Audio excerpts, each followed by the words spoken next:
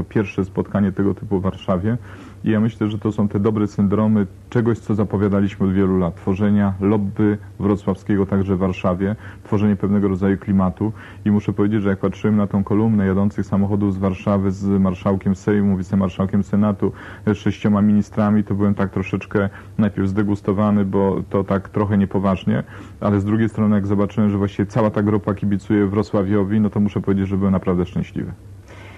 E, Był pan w Pruszkowie przede wszystkim dlatego, że obradował Senat, więc był pan blisko, bo w Warszawie. Z Warszawy wrócił pan e, no, w zasadzie przed chwilą. E, Co udało się w Senacie załatwić? Pytam przede wszystkim dlatego, gdyż no, ważą się losy ustawy, czy ustaw wszystkich reformy administracyjnej państwa, a pan od kształtu tej ustawy, tej reformy między innymi uzależnia no, dalsze swoje kandydowanie w kolejnych wyborach samorządowych we wrześniu. Tak, to prawda. Było tak, że posiedzenia Senatu zaczęły się w środę, skończyły się bardzo późno w nocy e, z piątku na sobotę. Ostatnie głosowania zakończyliśmy dosłownie o wpół do piątej nad ranem, nad ranem dnia dzisiejszego. Natomiast miałem to szczęście, że akurat w momencie, kiedy Cepter grał z Pruszkowem, to było moje szczęście, bo nie wszyscy mieli go w tym samym wymiarze. E, Były i przerwy techniczne i zapowiadana debata nad e, punktem zupełnie nieistotnym, zresztą pierwsze czytanie, więc mogłem sobie na to pozwolić.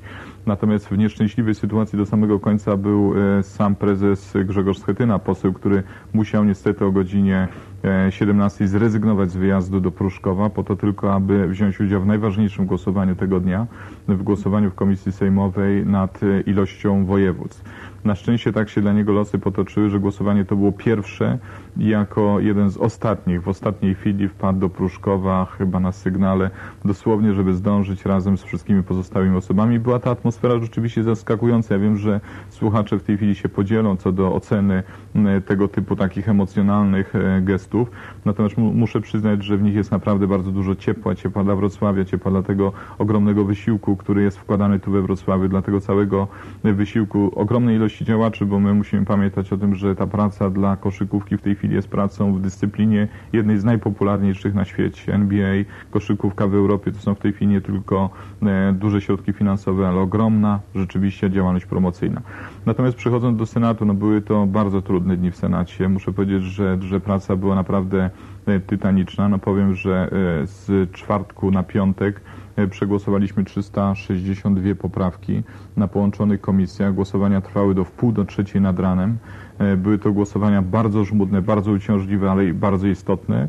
E, Po czterech godzinach przerwy, pomiędzy godziną wpół do trzeciej, a właściwie ósmą, e, można było teoretycznie wypocząć, natomiast o godzinie ósmej zaczęło się następna e, tura różnego rodzaju głosowań właśnie na posiedzeniu Senatu. Trwały od godziny ósmej rano do godziny wpół do piątej dnia następnego.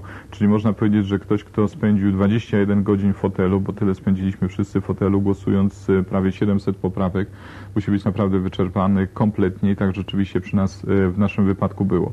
Natomiast mam też taką podwójną satysfakcję, bo okazało się w tych głosowaniach, przy, w procedurze przygotowania tych wszystkich poprawek, że jakby moje doświadczenie praktyczne pozwala mi bardzo łatwo poruszać się po tych wszystkich ustawach samorządowych, natomiast profesor Kieres należy nie tylko do kadry profesorskiej, jak sam tytuł wskazuje, ale do tych mistrzów absolutnych, mistrzów najlepszych, e, którzy nie tylko przewidywali określone rozstrzygnięcia pod względem prawnym, stylistycznym i e, czyszcząc różnego rodzaju detale ma swój naprawdę duży wkład e, we wszystkie trzy ustawy, ale mieliśmy oboje też taką satysfakcję, że w niektórych głosowaniach, gdzie nam się nie udało uzyskać efektu pozytywnego, wyprzedzaliśmy jednak e, ustawodawstwo o 2-3 lata.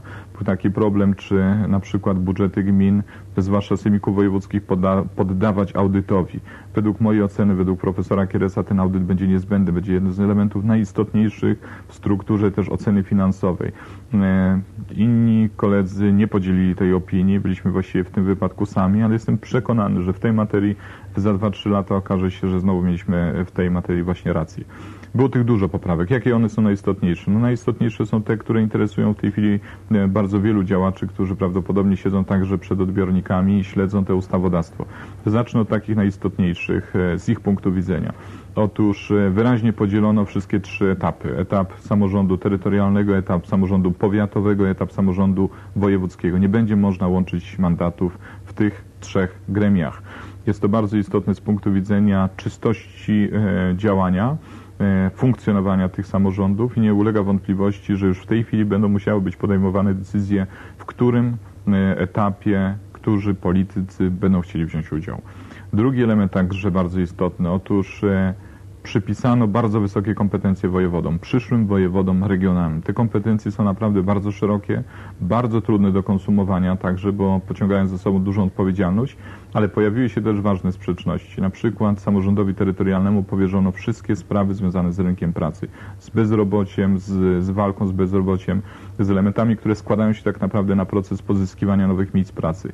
Ale zabrano i włączono ponownie do administracji specjalnej urzędy, rejonowe urzędy pracy. Tam jest pewnego rodzaju niekonsekwencja. Bardzo ważną poprawką było wprowadzenie e, połączonych funkcji marszałka Sejmiku Wojewódzkiego z przewodniczącym zarządu Sejmiku Wojewódzkiego, a więc marszałek będzie jednocześnie przewodniczącym Rady Wojewódzkiej, tej Rady Regionalnej, jak i również będzie pełnił funkcję przewodniczącego zarządu regionu. I pomimo tego, że tak ładnie właściwie zakończono procedurę przygotowania e, kompetencji tej postaci, to odebrano, odebrano na tym etapie możliwość reprezentowania e, Rady Regionalnej temuż marszałkowi, co jest pewnego rodzaju niekonsekwencją i e, zwracamy na to uwagę, natomiast wydaje mi się, że to jest taka niekonsekwencja, która musi być usunięta.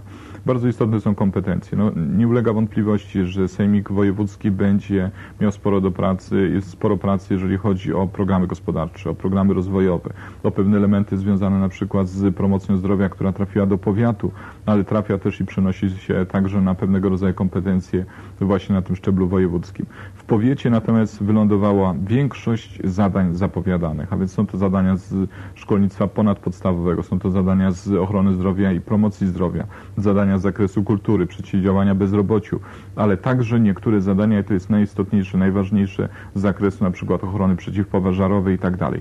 Można powiedzieć, że sam Wrocław tego nie odczuje, dlatego że w przypadku Wrocławia będziemy mieli sytuację taką, że Wrocław będzie jednocześnie powiatem czyli ta sama gmina, ten sam urząd, ten sam prezydent będzie pełnił funkcję jednocześnie Rady Miejskiej, Rady Powiatowej, e, Urzędu Prezydenta i Urzędu Starosty, Urzędu Gminy i Urzędu Powiatowego, a więc nie będzie żadnego dodatkowego kosztu, żadnego dodatkowego urzędnika, żadnego dodatkowego nowego stanowiska.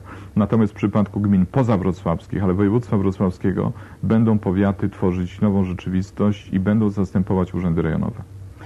Czy Wrocław nie odczuje tego również e, dlatego, że wiele z tych kompetencji e, Wrocław po prostu już ma, będąc no, e, w ramach ustawy o wielkich miastach, no, w tak zwanym programie pilotażowym, już no, część tych kompetencji mamy. Tak, to prawda. Dzięki temu jesteśmy do tego przygotowani. Można powiedzieć, że 1 października czy 1 stycznia 1999 roku nic we Wrocławiu takiego nadzwyczajnego pod tym względem się nie stanie, poza uporządkowaniem niektórych elementów składających się na sposób podejmowania decyzji pod względem formalno-prawnym. Odczują to mieszkańcy wtedy, kiedy będą odbiorcami tych decyzji. Ja też bardzo z tego się cieszę, że właściwie tak się trafiło, bardzo dobrze według mojej oceny, że wspólnie z profesorem Kieresem reprezentując w Senacie właściwie polityków niezależnych. Będziemy mogli być jednocześnie, może nie recenzentami, bo to, to, to nie, nie bardzo wypada, ale niewątpliwie interpretatorami tych ustaw, których wdrażanie wcale nie będzie proste. I to, że będziemy reprezentować dwa poziomy jakby własnych doświadczeń, ten właśnie taki bardzo prawniczy, bardzo istotny z tego punktu widzenia, ten pragmatyczny, będzie tworzył nam atuty, i chciałbym od razu zapowiedzieć, że będziemy chcieli się tymi atutami podzielić. Atutami podzielić z gminami podwrocławskimi, gminami województwa wrocławskiego, ale także ze względu na to, że ten region będzie dużo większy, będziemy starali się po prostu tą wiedzę przekazać także e, tym województwom, które zostaną wchłonięte w województwo dolnośląskie. Najistotniejsze sprawy to pieniądze i kształt naszego województwa, czyli w zasadzie liczba województw. Tego na razie nie głosowali. Tego nie głosowano. Mm, sprawy finansowe będą w czerwcu.